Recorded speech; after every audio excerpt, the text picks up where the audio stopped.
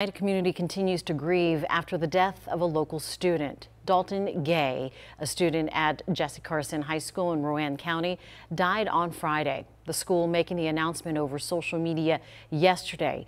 Hundreds of people showing support for the family at two events held today.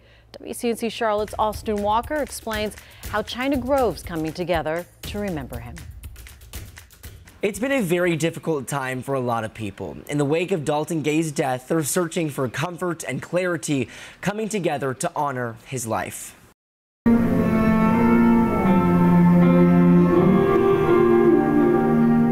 In a packed sanctuary Sunday morning, hundreds gathering at the Charity Baptist Church to remember a life lost too soon.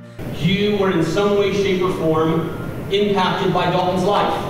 Dalton was a student at Jesse Carson High School in China Grove. A student athlete, his jersey shows number 43. Following the news of his death, support for the family poured in on social media.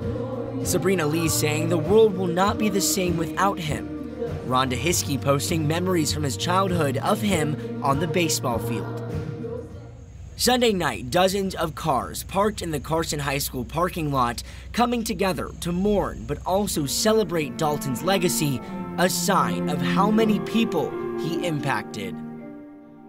It's a hard day for so many in this community, and we at WCNC Charlotte send our love and support to the family. In the newsroom tonight, Austin Walker, WCNC Charlotte.